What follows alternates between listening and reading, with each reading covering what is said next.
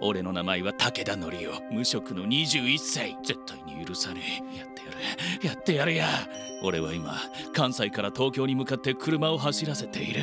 目的はたった一つ。許さねえ。許さねえ。全員死んでもらう。生きる資格はねえ。無差別殺人だ。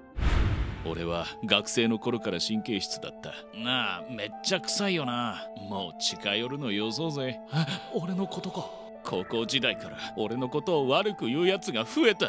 周りは被害妄想だって言うんだが俺の耳は騙せない。聞こえるんだ。帰宅も気になってネットで「武田地域名臭い」で検索するとなんだよこれ！実際に俺への悪口がわらわらと出てくるじゃないか。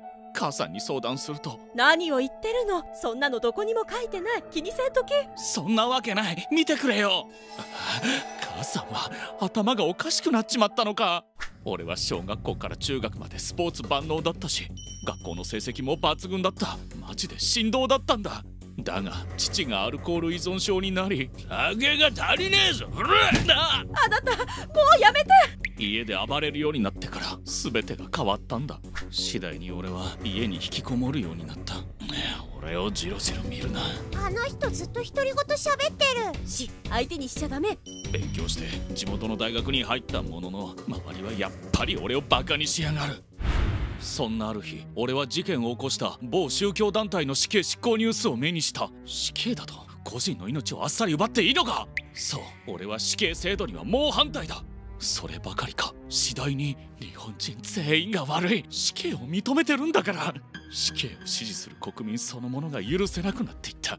ある時俺の怒りは一気に膨れ上がり許せねえ。国民どもをぶち殺してやる。年の瀬でごった返す東京で無差別殺人を起こそうと決心した。俺は襲撃における武器として高圧洗浄機を改造して。ほら燃えろ燃えろ。オリジナルの火炎放射器を作ることにした。国民全部燃やす。自作の武器で東京全体を一気に火の海にしてやろうと考えたのだ。俺は人気のない空き地で完成した自作の火炎放射器を試した。しかしああれ？思うように発動せず実験は失敗に終わった。とはいえもはや俺は爆発寸前だった。ならばまとめて車で引くか。車で人混みを襲撃する作戦に変更し混雑する元旦をターゲットにした。そして2019年元旦決戦の時を迎えた地元関西でレンタカーを借りやってやるよ。国民ども覚悟しろ。俺の車が到着するとそこは大勢の人々でごった返していた。ここに突っ込めばいいな。これでバカな国民どもは考えを改めるだろう。そしてついに悪魔のスイッチが入った。よしやってやるよ。俺は溢れる人混みに向かって一気にアクセルを踏み込んだ。目の前には楽しそうに歩く人々の群れが飛び込んできた。よっしゃまずはこいつらだ。俺は爆音を立てて車を加速させるとその群れに突っ込んでいった。許さねえ。その時吹っ飛んだうちの一人がフロントガラスに覆いかぶさりくそ。前が見えねえじゃねえか。どきやがれ。俺の視界を遮った。それでも立て続けに5人ほど車で引いた。殺される。逃げろ。さらに車体は人の体の上に乗り上げて暴走。大パニックだ。人をはね人に乗り上げ暴走した後。俺の車はビルに激突して急停止した。こうして俺は目的を達成したひとまずこの場を離れようとふらついた体でドアを開けなんとか車を降りた。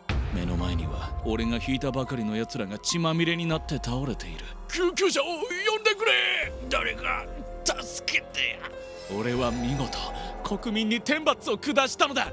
その後興奮状態のまま事件現場周辺をふらついていると「おい君ちょっといいか?」俺ですか。今度は警官から職務質問を受けた。目的を達成した俺にはもう何の欲もなかった。あおまわりさん俺今ね国民どもをね引いてやったよ。ななんだと？8人の重軽傷者が出たらしいが。もう何でもいいや。俺はその場で逮捕され結果懲役18年を食らった。